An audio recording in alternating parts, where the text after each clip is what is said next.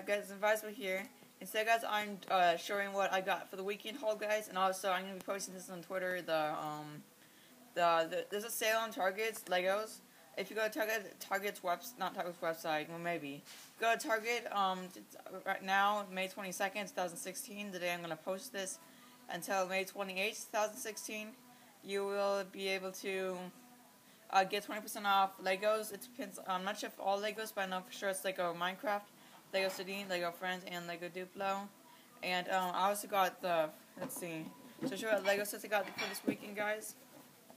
Uh, it's right here. You can't really tell because this is an iPad and it's in a camera and it's very hard to eat like backwards. So I didn't think about that until just now. Uh, I'll just read it to you. Um, it's uh, you probably can't read it. It is the Jungle Rescue Base, which I didn't know you.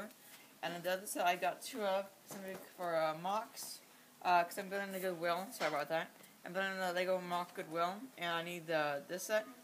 Got and Target was 20% off, and um, yeah, I think I was here. I got this.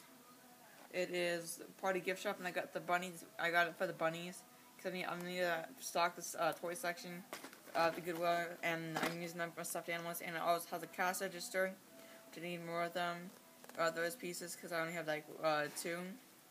And um, that's about it, guys. I uh, hope you guys enjoyed this video.